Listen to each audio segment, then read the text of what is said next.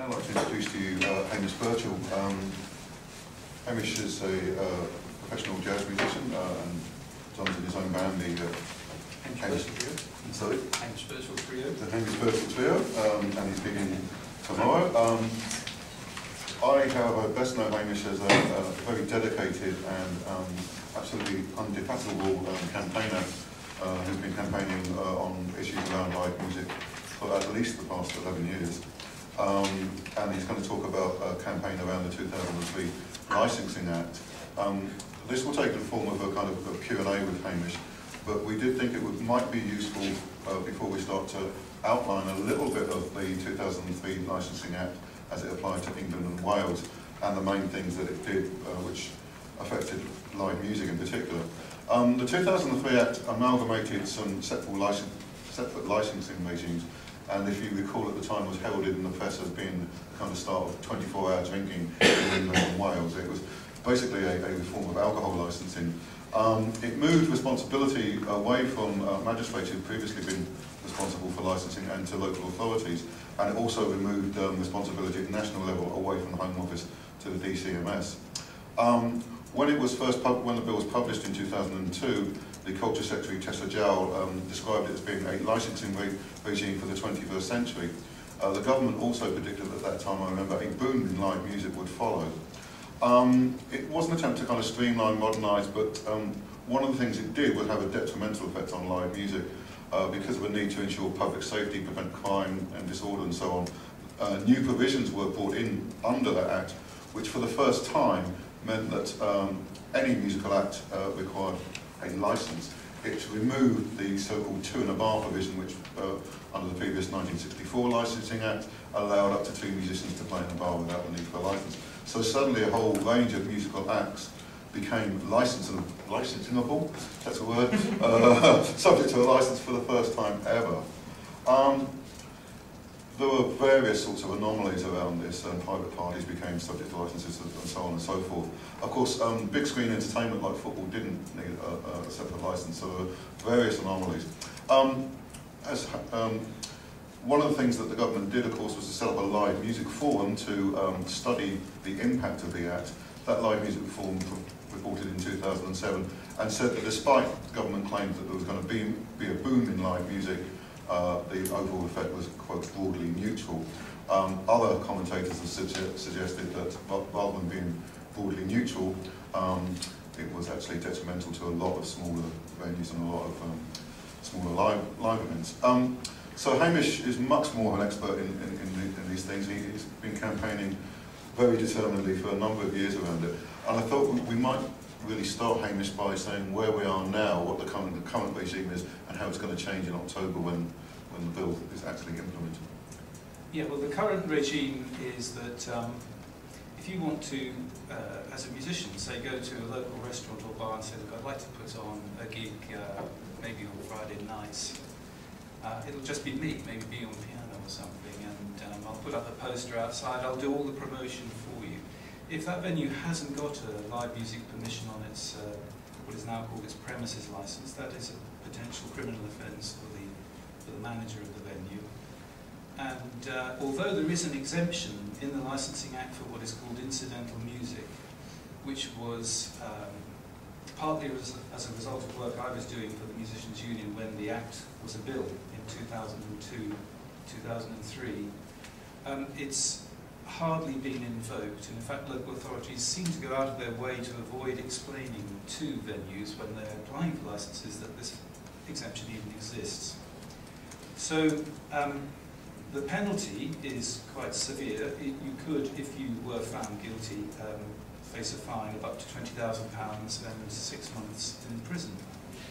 It's quite, quite a deterrent. Although it's rarely actually prosecuted, threats of prosecution are quite common, so the environment for small venues, grassroots venues, is one of, uh, of duress, really. And um, the extent uh, to which venues are licensed is a little bit difficult to determine. There have been studies by the DCMS which put the figure possibly at 50% of pubs, uh, certainly far fewer restaurants, possibly 25%. Uh, but what they didn't look at and has never really been looked at nationally are the conditions uh, that are attached to licenses even when they're granted. So typically um, they will run to a schedule of uh, sometimes up to 50 or even 100 conditions on a venue for having, you know, putting on live music, often duplicating uh, health and safety conditions that are required under separate legislation. But for live music, it's not uncommon still to have conditions restricting the number of performers to two or three, uh, and even the genres of music uh, to maybe classical or jazz, in the hope, in the clumsy ambition that this uh, is going to prevent noise complaints from neighbours. And this is really the primary concern of local authorities uh, when enforcing the legislation. It even, as, as you suggested, applies to private gigs. If you're um, putting on a private event, and by that I mean it's available only uh, perhaps to uh, people who buy a ticket of a, a, a very limited promotion. Nobody else could get in on the night. If you're raising money for charity, that is caught. So schools uh, may be wanting to uh, put on a concert and charging five, ten pounds a ticket uh, to help fund perhaps another uh, music room. That could be caught. And in fact, schools have had enforcement action taken against them. So that's the current position. Uh, but what was won, finally, in, uh, in Parliament, um, really the, the date of the, of the win was the 20th of January. Uh, third reading was uh, an act called now the Live Music Act 2012, which will allow uh, any venue, pretty much, not to worry about entertainment licensing, provided the live music takes place between 8 a.m. and 11 p.m. Uh, and if it's amplified, uh, there's a limit of 200 uh, to the audience that is watching. If it's unamplified, there's no audience limit. The Act also removes, and this is another uh, very important element of it, uh, in the Licensing Act, there's also a requirement to, to license the provision of what they call entertainment facilities. And that extends to amplification, stage, um, uh, lighting, that sort of thing, if it's for pro providing live music or the facility for people to make music. That's how it's defined. So it's a slightly different definition.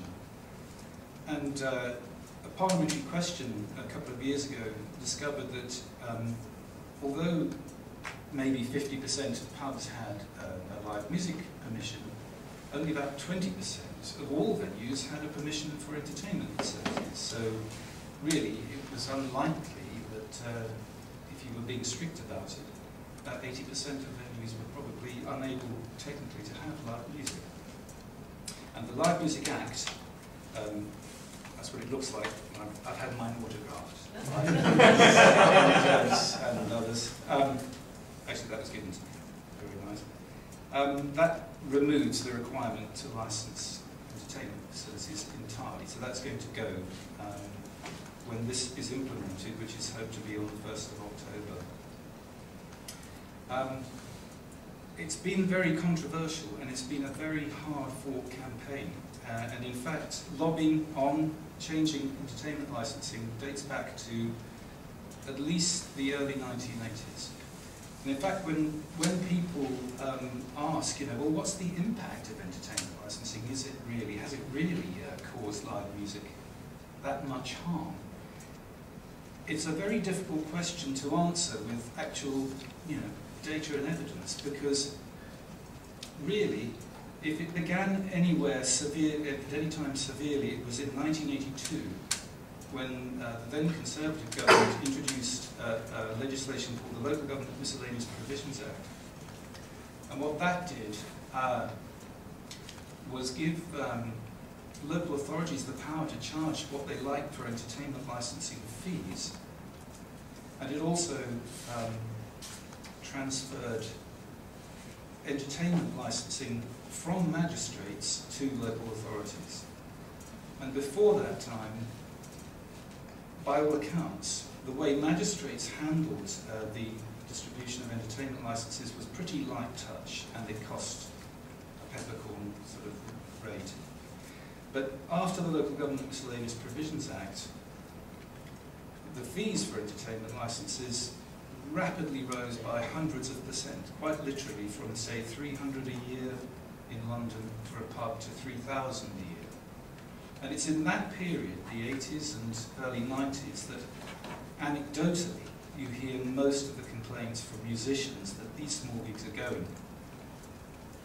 So it's got a, a very long history, and the studies that were done by the DCMS to evaluate the pre and post impact of this, of the new Licensing Act, I would argue were methodologi methodologically flawed and unlikely to really show very much. Um, the real impact had been long before, and if the, if the culture of live music had, uh, in small venues, had, had died out, the, the reasons for it weren't going to be ascertained by the questions they were asking in these studies.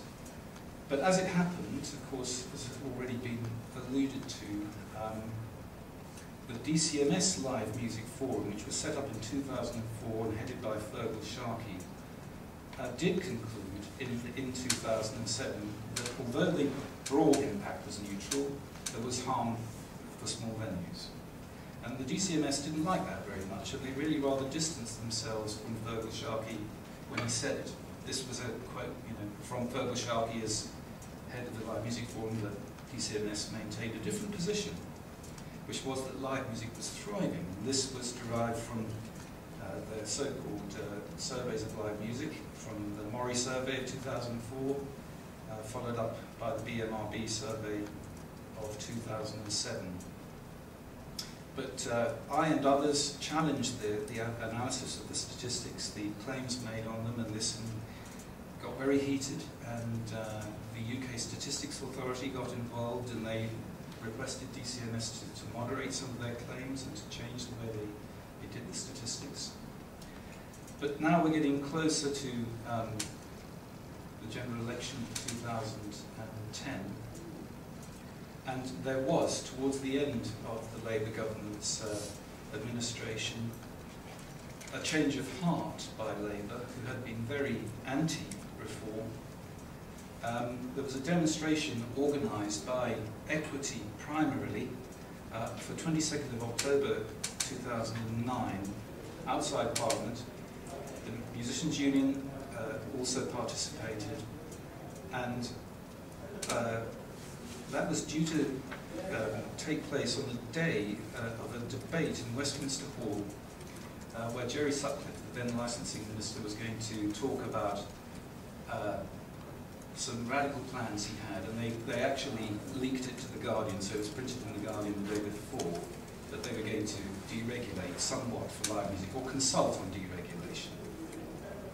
So, change of heart at the end of 2009.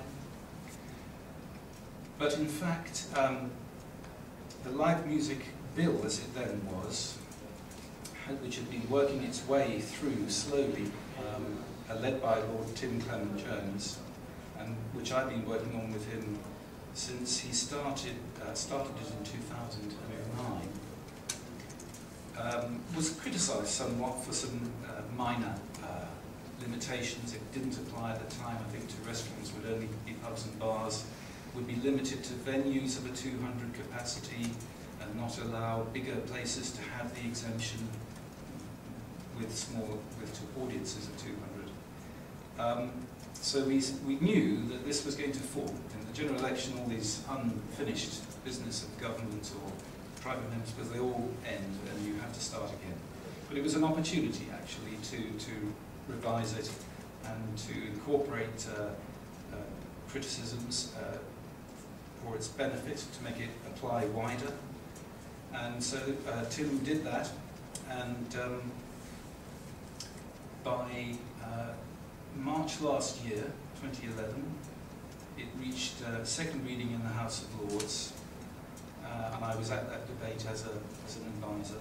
And that really is a historic debate because there's wonderful contributions from Michael Grade, uh, Lord Grade, Joan Bakewell, who was a former head of the National Campaign Arts, and uh, a Liberal Democrat, uh, council, uh, councillor, former councillor from Wales called Jenny Randerson, where the, the impact of the Licensing Act on small gigs uh, uh, was really set out in quite a lot of detail and the, the benefit uh, the Live Music Act potentially could bring was, was praised.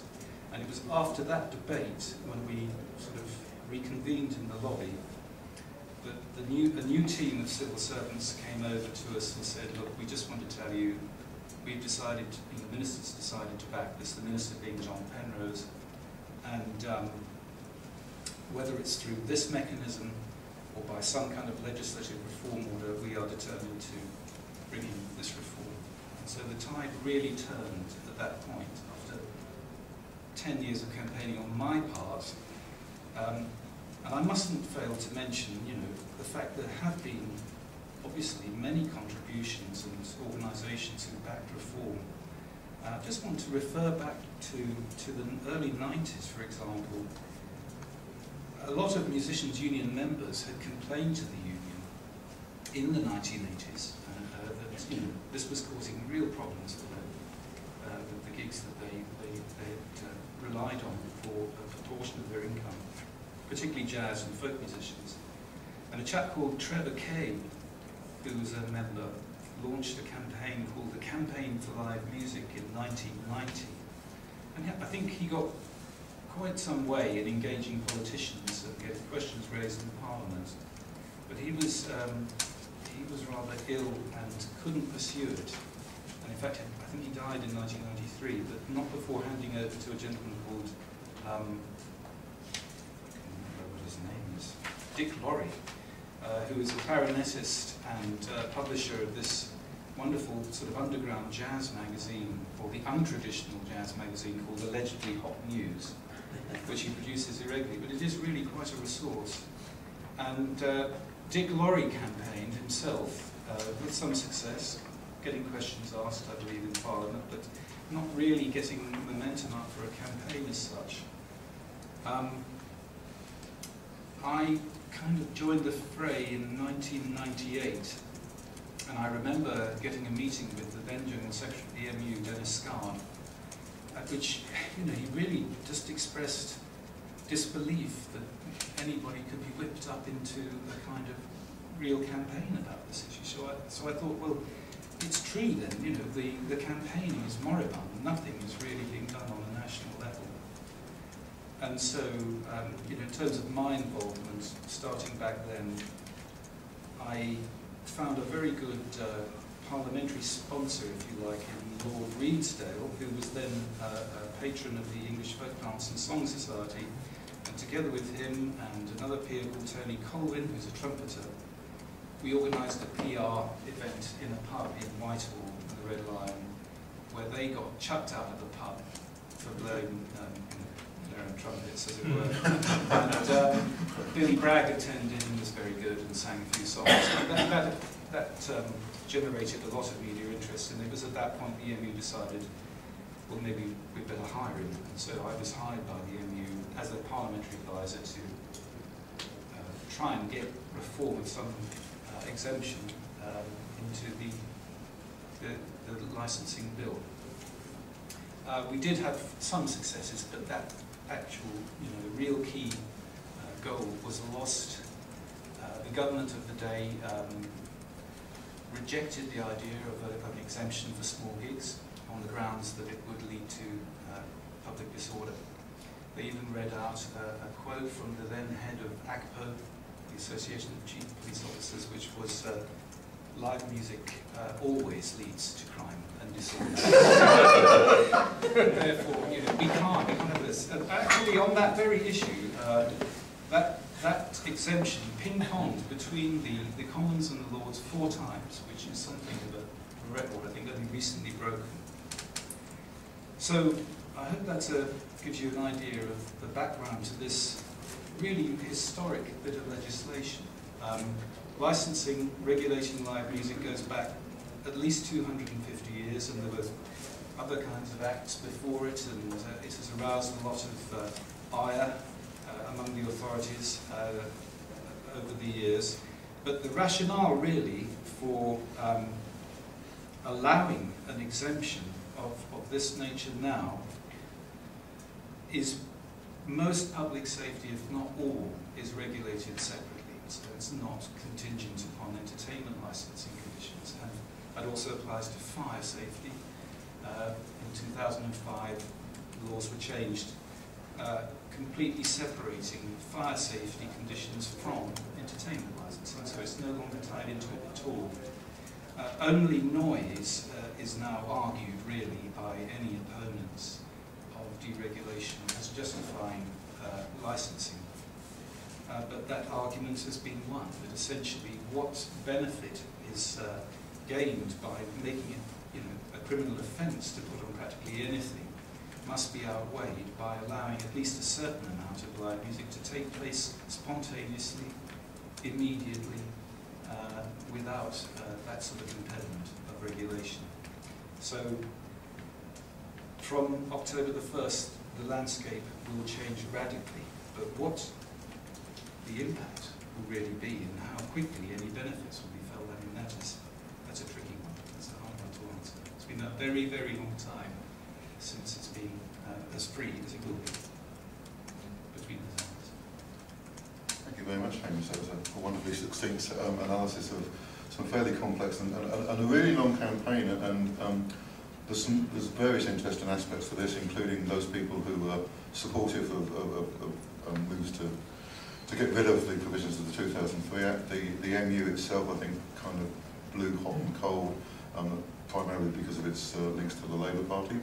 Uh, the local government authority um, was, also, was always opposed to, um, to getting rid of the, um, the 2003 Act. And interestingly enough, when reform does come, uh, it comes via the House of Lords, which, and, and Hamish and I were discussing this earlier, it's kind of an 11-year campaign which has benefited from the fact that you're going to to talk to the same people in the House of Lords, an unelected chamber, mm. rather than our democratically elected representatives who sat on their hands. Uh, so, so it has interesting implications for those of us who are interested in reforming the House of Lords. Um, so it, it's, it's, it's a fascinating tale, which I do hope Hamish um, later is able to write up, because I think it is a fascinating tale. Um, we are coming up against time, uh, as usual, folks, but um, if there are a couple of questions I know that Hamish would be happy to answer some. Simon, and then uh, go back to the Zane on Fowler, and Simon first. Um, two quick questions, which one of which can have a yes or no answer, and the other probably can't. One is, did you have any was there much support for the campaign from the live music industry as such, and promoters? And the second is, why was the Labour Party so opposed to, was it simply because they, having passed the bill, didn't want to change it? Okay, answer the first question is that in, in the past few years, the, the music industry, as represented by UK Music, which is their lobbying agency, has been totally behind. Right. And Feargal Sharkey, when he was their CEO, was outspoken in support of reform. Um, and only two weeks ago, the UK Music, uh, with the Musicians Union, organised a thank you to politicians uh, and others, and you know, I, was, I was there um, specifically for bringing in the act. So yes, to that one. Um, sorry, remind me. Labour so. Why was Labour so opposed? That's a very tough one. It seemed to me, when I was working for the Musicians' Union, that they had been persuaded by the local authorities uh, that licensing was the best and only way to, to ensure that uh, venues putting on almost any live music would act responsibly and not cause mayhem in the local community. They seem to buy very heavily into the idea of micro-regulation at the same time as they were freeing up drinking. Yeah. Might have been seen as the quick pro quo for being accused of freeing up people to drink. Maybe. Um, just as, uh, sorry, my name's Rob. Um, I did promotions for, uh, for a local restaurant. Um, I think they're currently paying five grand for their licence. And you say from the beginning of October, um, if they're, did you say was, if they've got two musicians, then there's no then they won't need the license. Sorry, could you just repeat what the, mm. how it's going to change? Mm, not quite as you've got it. Uh, from the 1st of October, um, you won't need to have an entertainment license uh, authorization to have live music, and that applies irrespective of the number of performers. If you're a venue that's already got and been through that process and you've already got a live music authorization on your premises licence, there'll probably be conditions. And the effect of the Live Music Act will be that those conditions will be unenforceable between 8am and 11pm. So if you were a venue with the permission, and the permission came with the condition that you had only two performers, that would be cancelled out between 8am and 11pm. I'm not sure we get the figure of £5,000 though, because there aren't annual fees of that order, except for venues of the size of a, of a You stadium. this is just a very, sorry, that was the, the figure that he quoted to me, maybe. That could probably or possibly be the, the total cost uh, to acquire the permission in the first instance. It might be with lawyers' fees and everything. Um, sorry, you just talk about with uh, music with and without amplification. Um, various instruments can play at different levels. Once you have a banjo there, you, you can barely hear a guitar or a mandolin. Um, so you often need to use electric amplification to balance the sound. Does the very fact you're having electric amplification there come under the come under the act, or will you be able to mic up a singer even if the other instruments aren't? Amplification, as I understand it, of any level will invoke the 200 audience capacity limit. So you can, you can have your music, no permission required, but you, you mustn't have more than 200 people in the audience.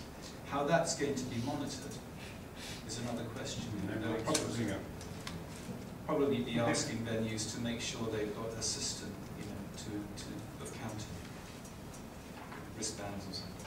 Very quickly, then I know we must finish because we've uh, got a short break before Stuart. It's not, not a question actually, it's, uh, you may be without say this, Martin, but I think it, it's just been a fantastic campaign and a great victory and a, a victory in the name of freedom, actually, it seems to me. So I wanted to express gratitude and admiration to Hamish for the work he's done. Thank you very much. Took the words out of my mouth, no, thanks.